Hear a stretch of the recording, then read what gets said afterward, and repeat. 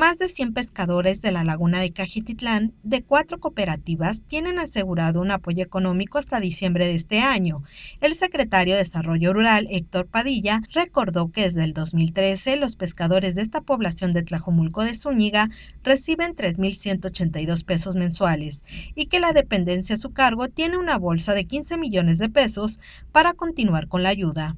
El gobierno del estado empezó a canalizar este recurso por los problemas que enfrenta esta actividad por la contaminación de la laguna de Cajititlán, que ha desencadenado la muerte de toneladas de peces. La laguna de Cajititlán tenemos un respaldo para apoyarlos con el monto económico que cada mes les entregamos hasta el mes de diciembre.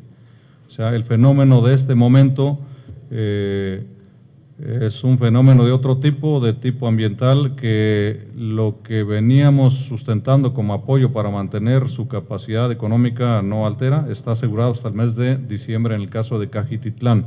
El secretario de Desarrollo Rural también habló de la presa Valencia, ubicada en Acatlán de Juárez, y que de igual forma atraviesa una crisis por la contaminación de sus aguas. Señaló que analizan la posibilidad de darle continuidad al apoyo de 3.800 pesos mensuales que otorgaron a pescadores, fileteras y restauranteros hasta agosto pasado, debido a que la presa continúa invadida de lirio y los turistas no han regresado para reactivar la economía de esta delegación. De cuando se presentó el fenómeno en junio del año pasado a la fecha, la población se ha movido porque había mucha gente que trabajaba que no era de ahí.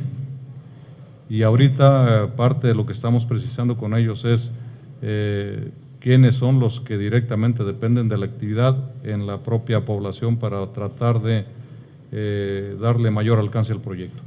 Padilla afirmó que la CEDER en ambos casos ha sido un vínculo de comunicación entre los afectados y el resto de las instancias de gobierno, entre ellas la Secretaría de Medio Ambiente y Desarrollo Territorial, que es la que investiga el origen de la contaminación. Con imágenes de Jorge Álvarez, señal informativa Georgina García Solís.